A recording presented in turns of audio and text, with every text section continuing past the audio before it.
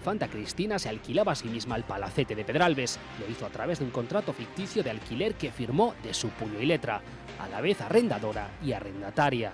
Se lo alquilaba a Aizón, la sociedad de la que era copropietaria y que está siendo investigada por fraude fiscal y blanqueo de capitales. La agencia tributaria ha remitido ya al juez el contrato original por el que hacían creer al fisco que tenían alquilada su residencia a su propia empresa patrimonial, una forma de generar gastos ficticios para desviar fondos, 12.000 euros al año colocados en Aizón a través del Instituto NOS.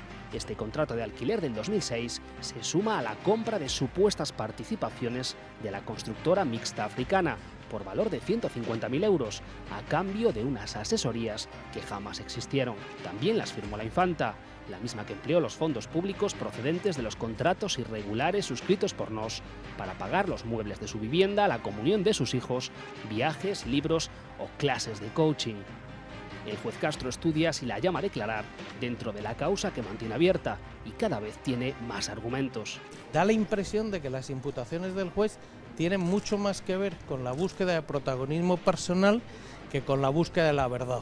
Un magistrado que no solo soporta presiones, también espionajes. Castro, al igual que el fiscal Pedro Rach, estarían siendo víctimas de seguimientos continuados desde hace meses, incluso en sus propios domicilios.